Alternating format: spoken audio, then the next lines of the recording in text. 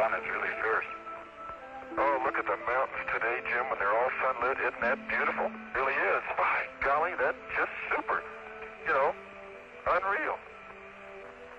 Dave, I'm reminded of a favorite biblical passage from Psalms. I look unto the hills from whence cometh my help. But of course, we get quite a bit from Houston, too.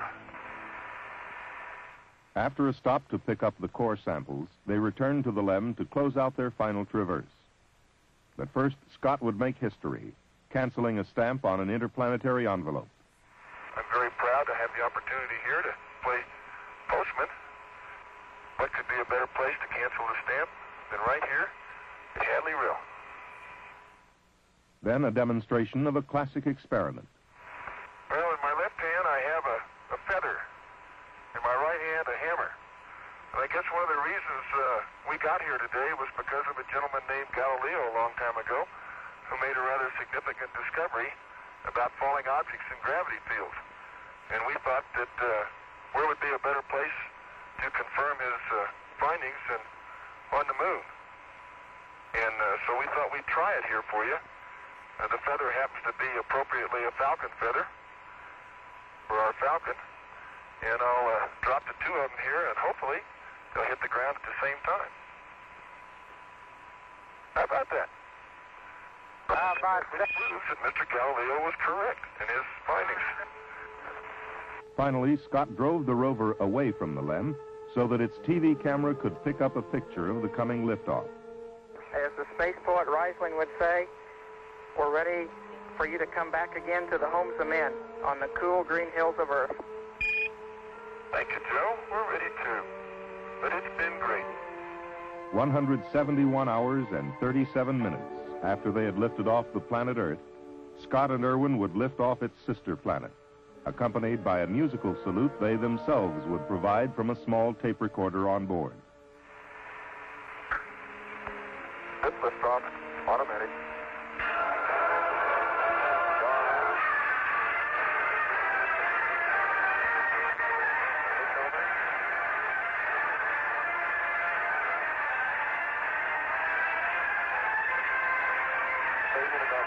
306.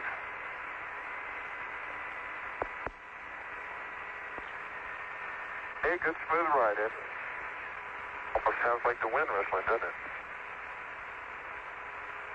Oh, what a view of the rill, huh? Older track coming down into it.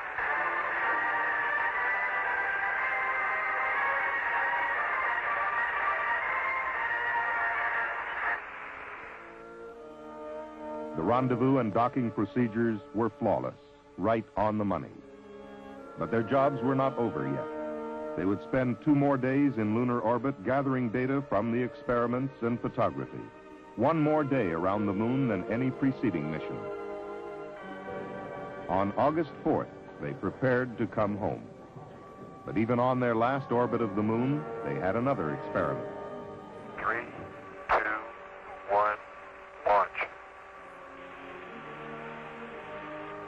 A very pretty satellite out there.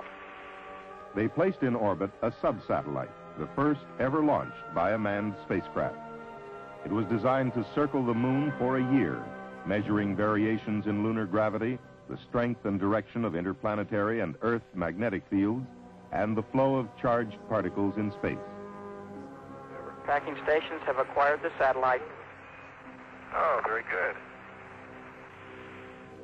Then the burn to bring them back to Earth. But their jobs were far from over. 172,000 miles from Earth, Al Worden left the spacecraft to retrieve the 8,000 feet of film contained in the cassettes of the experiment bay cameras. Later, they would turn their X-ray spectrometer toward the newly discovered X-ray pulsars, those mysterious black holes in space. At the same time, in accord with the previous plan, an Earth-based Soviet observatory scanned the same areas visually to help derive a model consistent with both sets of observations. During the trip home, the X-ray spectrometer would observe seven X-ray sources and gather 50 hours of galactic data. Then, on August 7th, they looked into the fireball created by the heat of their re-entry into the Earth's atmosphere at 25,000 miles per hour. And there would be a heart-stopping moment as one of the three parachutes collapsed. However, the landing system was designed to use two parachutes. The third parachute was an added safety factor. Today, that margin paid off.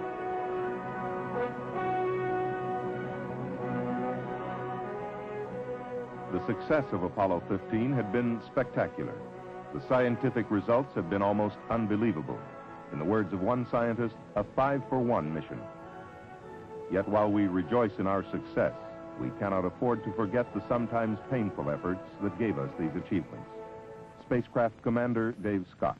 I think many people have contributed to this pinnacle we've reached. Some have contributed more than others, and we know of 14 individuals who contributed all they had. And because of that, why we left a, a small memorial on the moon, about 20 feet north of Rover 1, in a small subtle crater, there's a simple plaque with 14 names.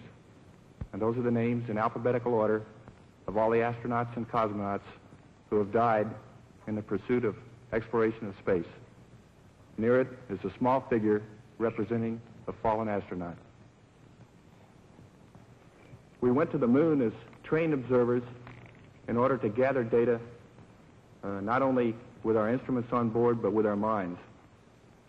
And I'd like to quote a statement from Plutarch, which I think expresses our feelings uh, since we've come back. The mind is not a vessel to be filled, but a fire to be lighted. Thank you. Thank you.